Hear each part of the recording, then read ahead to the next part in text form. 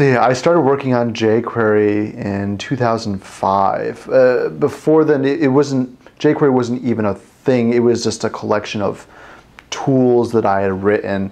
Uh, it was mostly because I had been creating a number of websites and resources around that time, and I kept wanting to have these certain utilities to make my development easier.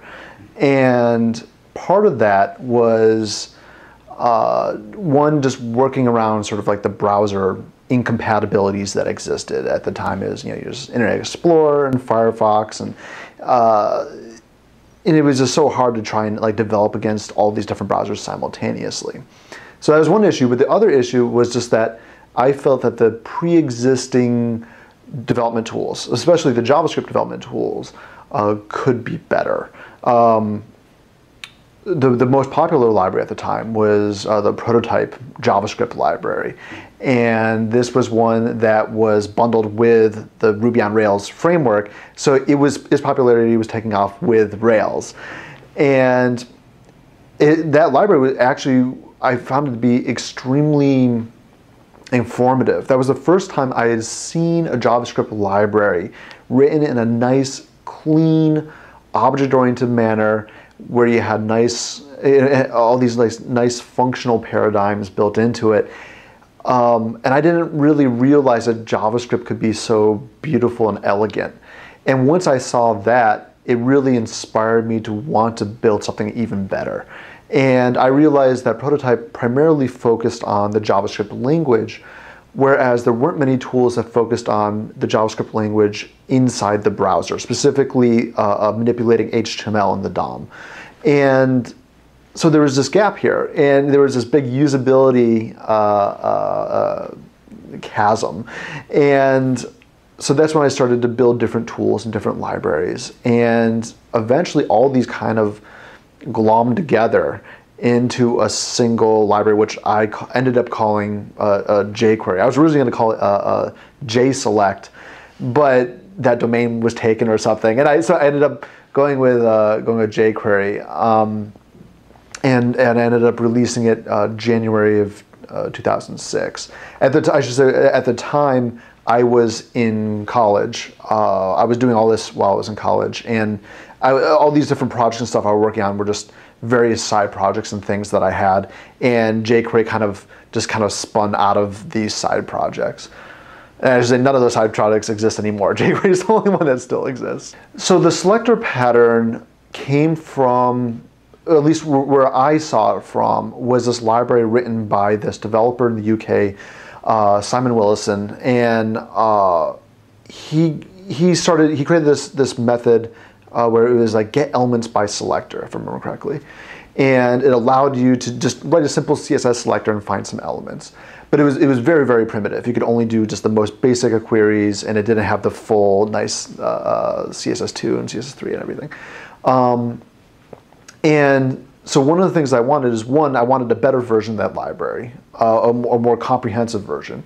And additionally, I wanted to make the process of attaching events into the page. So, so when, because when you're building an interactive JavaScript application, you need to listen for when the user is going to be doing certain things.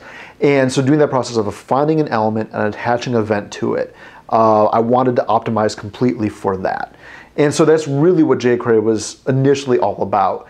And it wasn't until later that I started adding in other things like being able to have like uh, uh, animations. And it wasn't even until after I released it that I added in like Ajax and stuff. That I, that's because other people wanted it. I wasn't even using that personally. Um, so it, it, it, really was. I, I was definitely inspired by all these other developers and, and, their libraries, and I just I just I, they just weren't quite perfect. You know, like I, I wanted to be that just that that little bit better to all fit together. And so so how did it go from sort of you making something and giving it to it sort of taking on a life of its own? Because it hmm. didn't take long for it to take on a life of its own. It felt like it took a long time to take on its life of its own, uh, mostly because so like, yeah, release it January 2006, and one of the very first design decisions I made, I guess there were a couple that I made right from the start that helped a lot. Uh, one was that I provided an explicit plugin architecture so that people could write plugins and add them into the jQuery library, and then now they could get the full advantage uh, of this framework. Um, the other decision I made was that on the very first day it was released, I had documentation written. Like I sat down and went through every method and documented it and how it worked and provided little examples. And one, one thing I think is interesting is that from January 2006, when I released the library, to January 2007, jQuery was the only library, only JavaScript library with documentation. Um, all the others were just like read the source code or go through revision control or whatever it was, and it, uh, that always really surprised me. Uh, and I, well, I think it's just it's just it's just a side effect of developers. Like you, you want to write your code, you don't want to uh, uh, do the boring stuff and writing docs and whatever.